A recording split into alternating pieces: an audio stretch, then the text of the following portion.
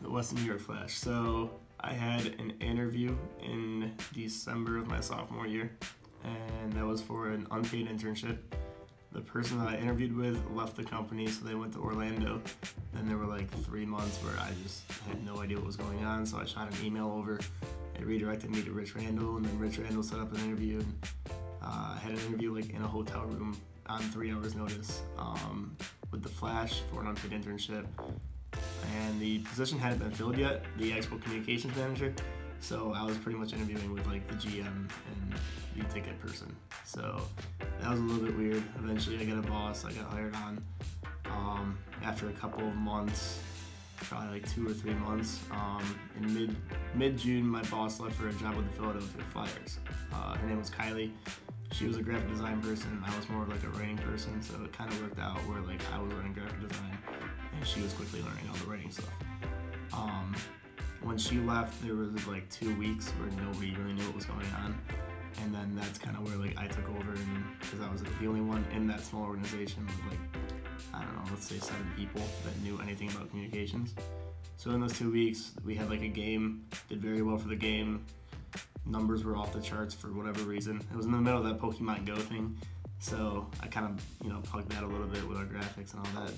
Um, and then at the end of the two weeks, they were just kind of like, hey, would you like to be full time? So from there, uh, worked with the team through the rest of June and July. We had an Olympic break, so I was kind of like the team liaison with the Flash uh, for the Rio Olympics, and then traveling with the team around the country to everywhere from Boston to Washington to um, Houston, Texas.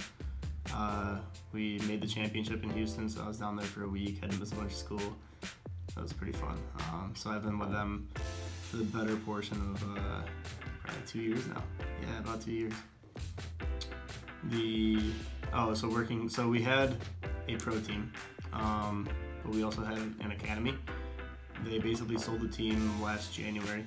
I had to handle the sale, which was also pretty much everything that I learned with the Flash was just like very new.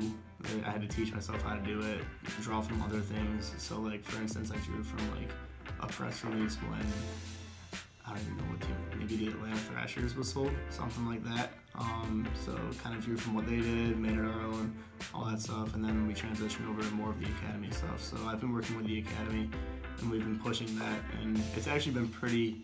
It's a lot different because it's not one team and it's not a professional team where you have like professional players and nationally known people.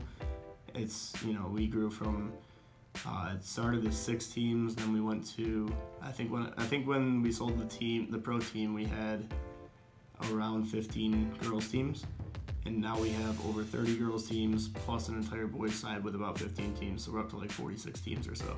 So it's been like a weird transition, but it's been kind of nice to um, experience it, and like you know we've been slowly, slowly building what we have now. So the Bills, uh, I got my start in the ticket office. Uh, August 2015. And um, that was in the ticket office, so I kind of did a lot of like ticket stuff, customer service, all that stuff, and eventually got um, moved into the whole season. So I worked the entire 2015 season, um, which was the first year of Rex Ryan.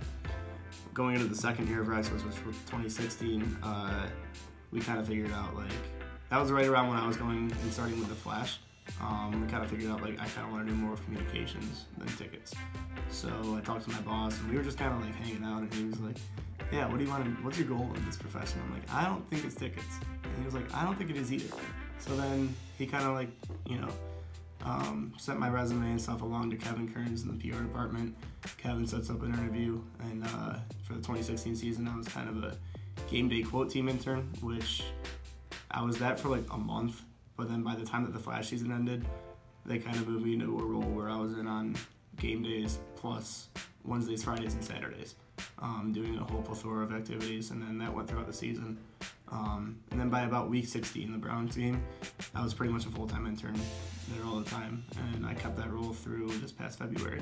So doing everything from, and it was a, it, it was another very like unique experience because I went through two two organizations in a sense from GM to head coach change to my boss changed. Like we, we went from Scott Berchtold to Derek Boyko, and all that was a very overwhelming experience because he completely brought a new approach as opposed to Scott's 1980s and 1990s approach. So um, yeah, I mean, absolutely amazing experience with the Bills.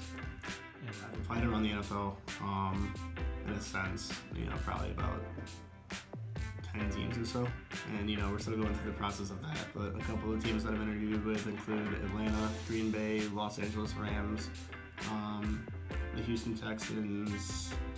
I have an interview with the Seattle Seahawks in Seattle later this month. Um, and then, like, I've even ventured outside the NFL a little bit. So I have an interview today with the uh, Big 12 Conference uh, in the second round. So I've kind of used everything that I've learned in college, and hopefully, I'm gonna put that towards something moving elsewhere, and uh, hopefully, need to need to get something first. Need to get offered something first, but we'll see.